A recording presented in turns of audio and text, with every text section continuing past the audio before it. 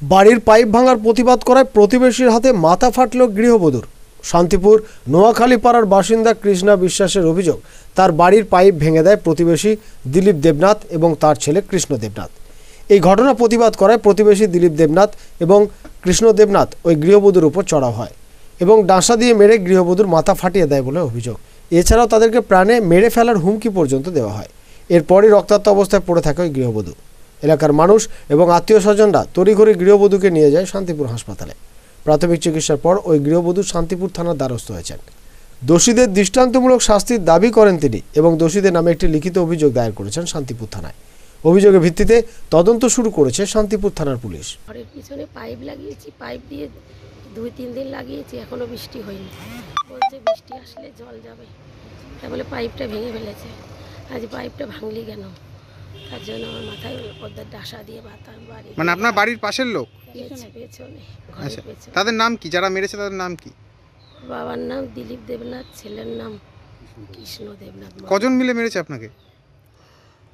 ওর মা খুন্তি নিয়ে এসছে সবাই মিলেই মেরেছে। কি দিয়ে মারলো? ডাসা ডাসা। এ, কখন মেরেছে এটা? একটু সকালে রান্না তখন মূলত পাইপ ভাঙা নিয়ে এই আপনাকে মেরেছে? জল জল যাবে কেন ওদের বাড়ি? তার জন্য আমার বাড়ি ঘর ভেঙে দেবে। আপনার বাড়ি কোথায়? দু নম্বর নোয়াখালী পাড়ায় আপ- আর আর যারা যারা মেরেছে তাদের তাদের নাম আরেকবার বলুন। বাবার নাম দিলীপ দেবনাথ ছেলের নাম কৃষ্ণ দেবনাথ। থানা অভিযোগ করছেন? হ্যাঁ। কি চাইছেন এখন?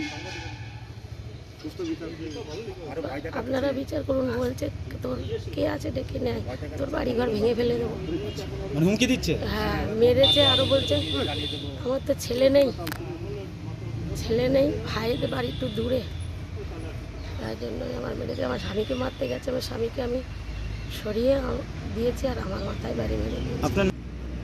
ওই তো ঘরের পিছনে পাইপ নিয়ে দিয়ে ওরা পাইপটা জাম করে রেখেছে। বলতে গিয়েছি ও উড়ে ওরা এসে ঝামেলা করল। যারা মেরেছে তাদের নাম কি? ওই কৃষ্ণা কৃষ্ণ বিশ্ব কৃষ্ণ দেবনাথ আর দিলীপ দেবনাথ। কি দিয়ে মেরেছে? ডাঁসা দিয়ে।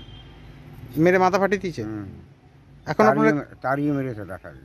আপনারা থানায় অভিযোগ করছেন? হ্যাঁ। কি চাইছেন এখন? এখন মানে ওর ওর ওর শাস্তি হোক, একটা ছেলে হয়ে আমাকে মারলো আমি মেয়ে মানুষ। আমি তো ওর গায়ে একটা নোকের আচরও দিইনি। নদিয়া শান্তিপুর থেকে মাধব দেবনাথ আনন্দ বার্তা